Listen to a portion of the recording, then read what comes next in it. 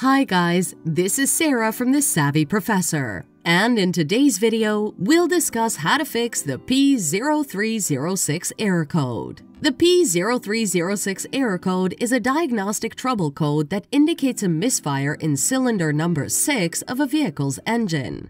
Imagine jogging, and suddenly you start limping due to a sharp pain in your right leg. The pain would cause you to slow down or stop running altogether, just as a misfire in cylinder 6 would cause the engine to run rough or stall. If left unchecked, this error could cause damage to the engine. Therefore, it's crucial to diagnose and repair the issue promptly. So, what are the common signs to look out for when checking for this issue? Number 1. Reduced power. If the engine is misfiring in cylinder 6, it may struggle to produce power, leading to a loss of speed. Number 2. Stumbling. When accelerating, a misfire in cylinder 6 can cause hesitation, stumbling, or even stalling, which can be dangerous. Number 3. Foul smell. A misfire in cylinder 6 can also cause unburned fuel to escape into the exhaust system, leading to a foul smell coming from the tailpipe. The following are some of the common causes.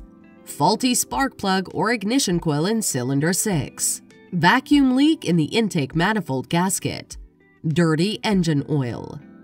Finally, let's look at the best solutions you can apply to fix this error code. Number 1. Replace faulty spark plugs and ignition coils.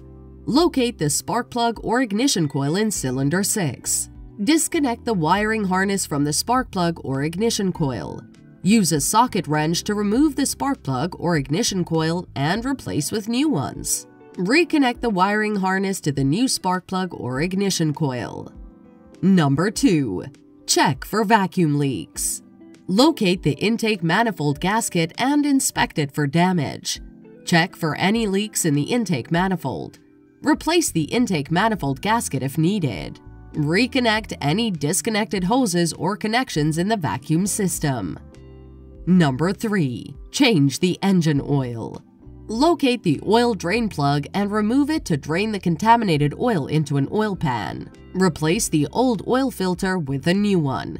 Refill with clean oil. Check oil level and clear the error. Thanks for watching.